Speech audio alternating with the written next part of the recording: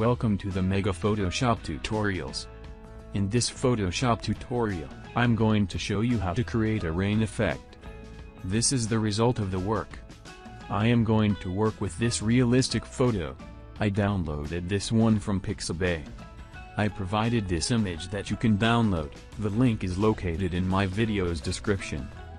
Before I begin please click that small subscribe button at the lower right corner to let you know as soon as I've uploaded new Photoshop tutorials. So let's get started. Head up to File, then click Open. Select the image that we are going to use as a background, then hit Open.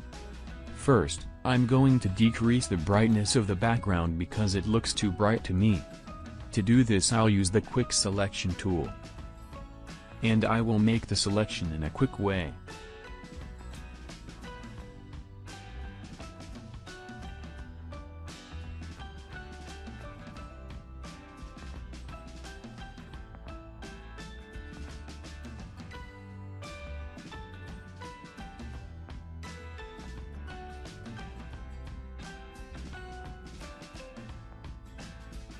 Then open the image menu, select adjustments and choose levels.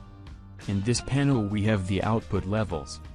In adjust highlight output level, I will choose 100. Then I will blur the background. To do this, open the filter menu, choose blur, then Gaussian blur. Radius 4 pixels is a good choice.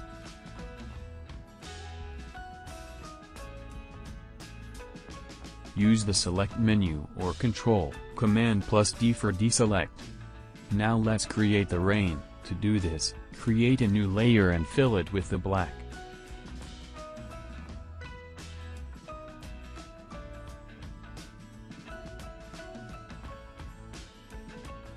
Then go to Filter, Noise, add noise and make the amount 20%, the distribution, Gaussian, and monochromatic, checked. Once you added the noise, go to Filter, Blur, Motion Blur, Angle minus 75, distance 45 pixels is a good choice.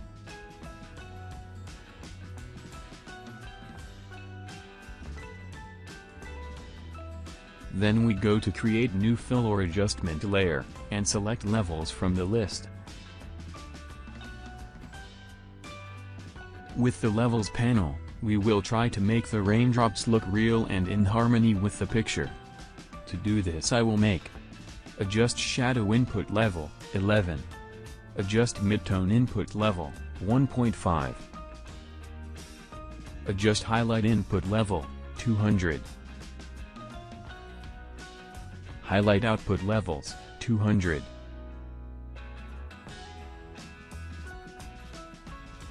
Then we put this layer on lighten mode.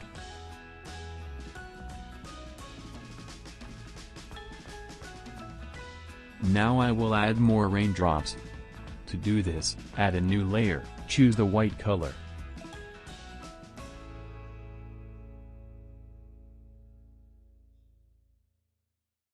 Select the brush tool and select pointillist effect brush.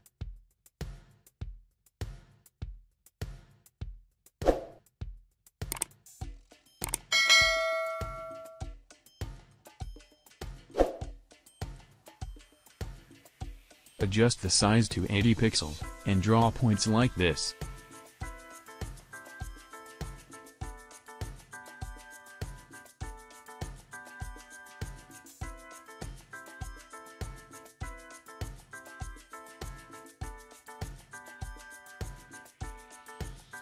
Then go to Filter, Blur, Motion Blur. Angle minus 75 degree. Distance 60 pixels is a good choice.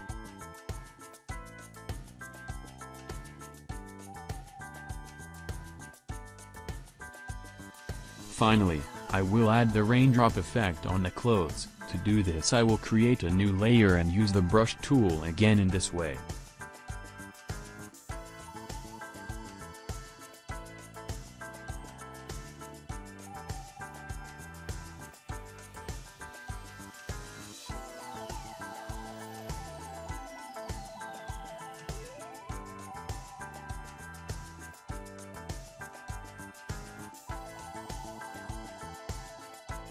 Then go to Filter, Blur, Gaussian Blur. And apply 1.5 pixels as radius.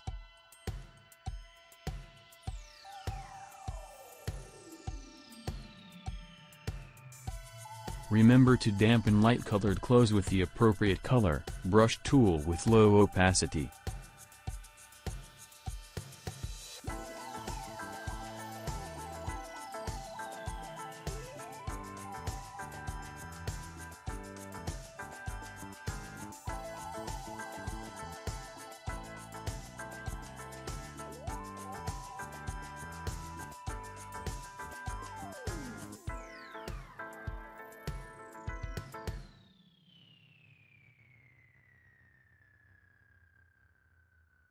Thanks for watching, and do not forget to subscribe in my channel.